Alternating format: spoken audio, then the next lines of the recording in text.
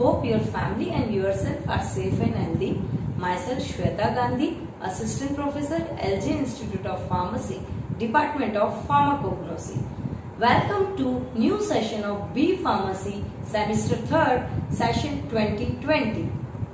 Every crisis comes with the new learning and I would like to congratulate each one of you as you all will be a part of this history which the whole world is writing in a digital form. Now, we will cover various topics of uh, pharmacognosy and phytochemistry subject 1 in this new e-lecture series of semester 3rd. So please do watch our YouTube channel Pharma Ignite. All the best. Dear students, welcome to e-lecture series. In this e-lecture series, I will cover novel medicinal agents from marine sources from the subject Pharmacognosy and Phytochemistry first of B Pharmacy third semester. So keep your pen, paper and headphones ready. Let's start. Now, Pharmacognosy and Phytochemistry 1 is the pharmacognosy subject of semester 3rd. Now, in unit 5, there is a topic called marine drugs. In this e-lecture 1, I will explain you novel medicinal agents from the marine sources. What? What are the contents from this chapter? The content includes introduction. Introduction includes what? What are the marine sources? From where we will get the marine sources? Importance of marine drug. Marine drugs in clinical use. Nowadays, many marine drugs are of great importance in clinical use. Classification of drugs from marine organisms. In this, we will cover the different drugs, for example, carrageenan, algin, which all we get from the marine sources. Now, novel agents from marine sources. In this topic, it includes the classification of drugs used in different diseases like cardiovascular diseases, antiviral agents, antimicrobial agents, anti-cancer agents, anti-tumor agents, anti-cancer and anti-tumor which includes the category cytotoxic agents, prostaglandins, these all are the classification of the novel agents from marine sources.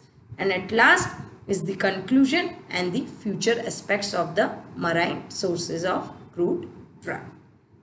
Let's start the introduction. First of all, the drug will obtain from the marine sources is a component of microbiology. As you all know, ocean covers 70% of the earth's surface and aquatic derived microbial natural foodstuffs have chiefly unexplored. The aquatic environment is a home for various microorganisms. We get red algae type microorganisms all from the marine sources which generate from these marine sources what will we get? We get the biological active complex that is what we want. Biological active complex called bioactives as the name suggests bioactive. Bioactive means the substance which are biologically active. So, the drug, what is marine pharmacognosy? The drugs and medicines used today are obtained generally synthetically or from the natural origin. But very few drugs will get from the marine sources. So here we'll explore the marine pharmacognosy. The active constituent obtained from marine organism. Marine means aquatic organism such as algae, seaweeds and which are used to cure the human diseases. For example, seaweeds. Seaweeds we will, which we will get from the marine are called as macroalgae. One is macro means and algae are used as the crude drugs. These macroalgae are used as the crude drug in the treatment of various human diseases. Some of the examples are goiter, hypothyroidism. Goiter means iron deficiency diseases, anemia. Most of the women have the lack of iron at the time of pregnancy. So these uh, drugs can also be used at the time of anemia intestinal disorders are also these drugs are also helpful in the intestinal disorders what are the importance the main importance are the marine sources are the potential source of drug these are the what source of drug so they are the precursors of drug. We can also call as marine organism also act as a precursor for making the drug. The these sources are the chemical compound and plays an important role in the pharmaceutical potential. Now, nowadays, as I already told you, marine drugs are of great importance in clinical. What, for example, some of the natural products like solbutadine, acidotine, dolastatin, and the most important is trabectedin is produced by the symbiotic bacteria which is used for the cancer treatment. This trabectedin is also obtained from the marine source. Now, the classification of marine drugs. What are the classification of marine drug? This is the whole chart where the name of drug, the biological source and the family of that drug, chemical constituent from which the, from the drug and uses. So first classification of marine sources is chitin. Chitin is the polysaccharide containing amino and acetyl group present in the skeletal material of invertebrate. And the chemical constituent obtained from chitin is hard crustacean cell, soft shell of shrimp and mycelia of penicillium chitin. These are the percentage and what are the use or application of this drug? They are used in wound healing and as a sizing agent for rayon, cotton and the wool. Next drug which will which we get from marine sources is sodium alginate. You also known by the name alginic acid. A sodium salt of alginic acid. What is alginic acid? Alginic acid is a polyuronic acid. It is a polyuronic acid. And chemical constituent obtained from sodium alginate is mannuronic acid and glucuronic acid. It is a polysaccharide. As a what is the use of this alginic acid? As a suspending agent and thickening agent, binding agent, also used as a disintegrating agents in tablets. Next one is agar.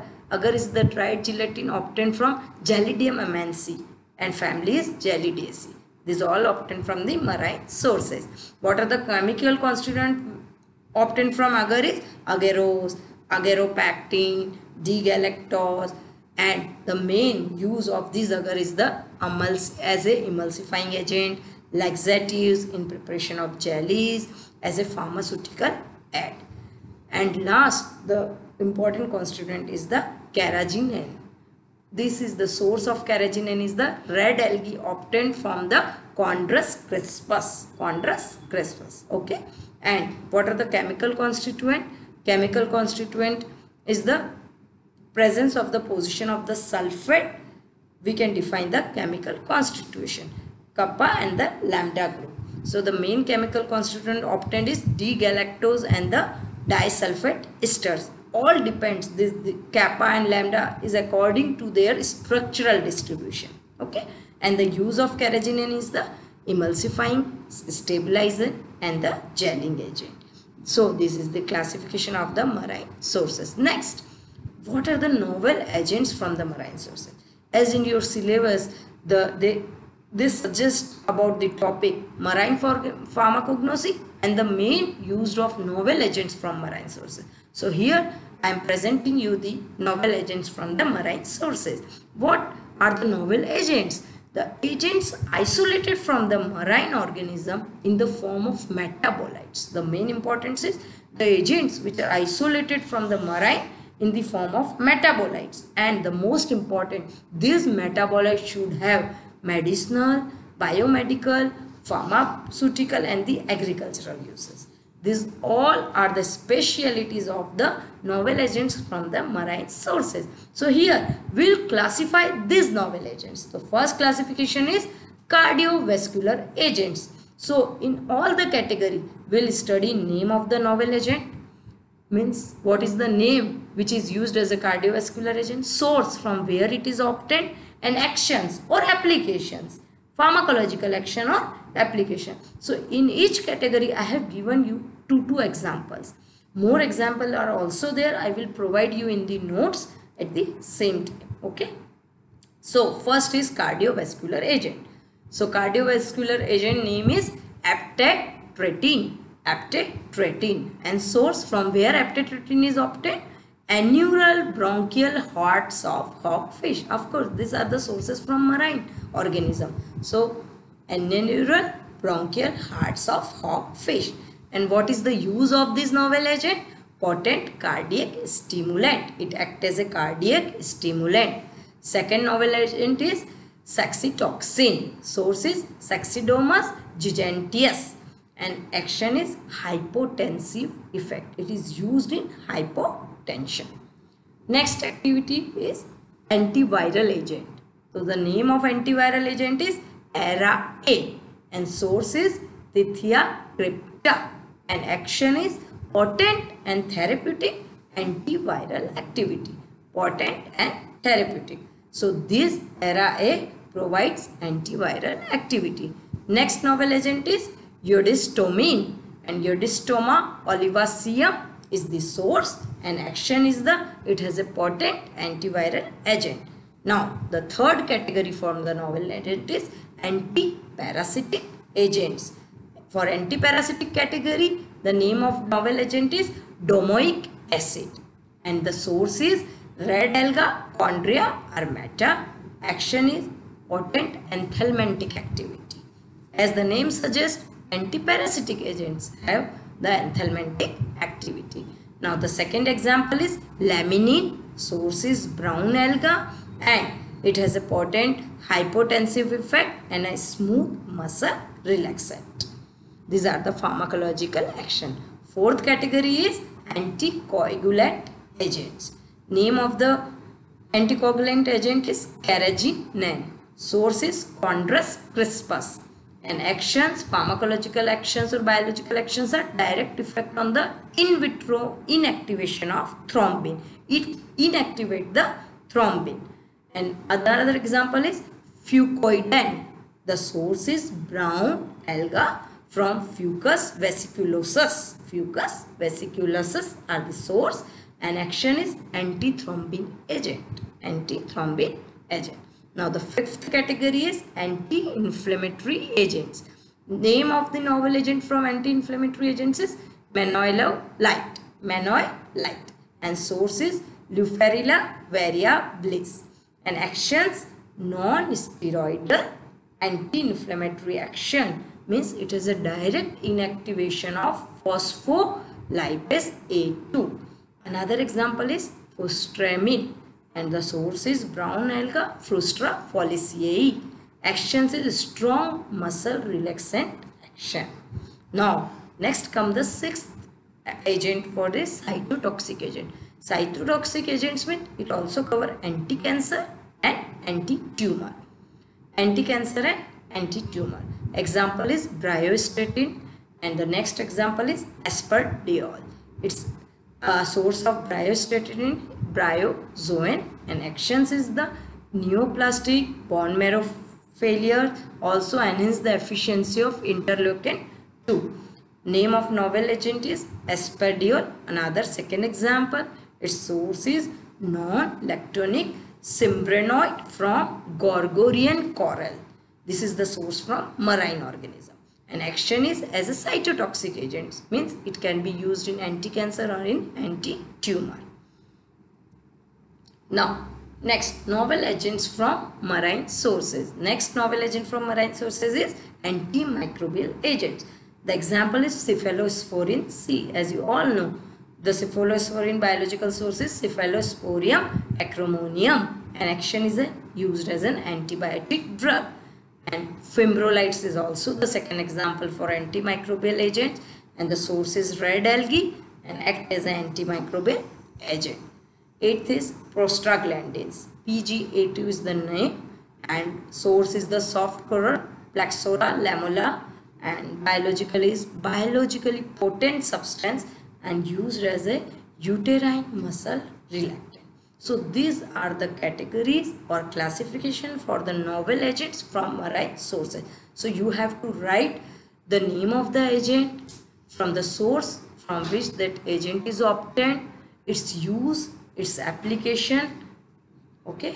Next, what is the conclusion? The conclusion is that the marine environment is untapped resource means it's not explored too much. So there is a need to explore the marine resource and it is a rich source of bioactive molecule. As you know i have already told you bioactive molecule means it should be biologically pharmaceutically and agriculturally active. For both pharma on marine sources nutraceuticals are obtained from marine sources. So it holds a great position in pharmaceuticals.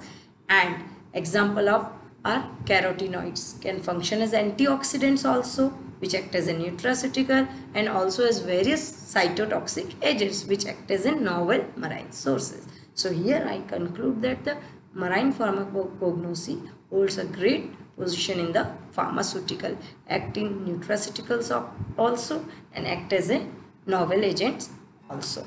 Now what are the future aspects? Future aspects of marine pharmacognosy is it is this method is very much helpful in the elucidation of pharmacologically active molecule and the drug leads. Drug lead means as a precursor, as a new for the development of new drug molecule.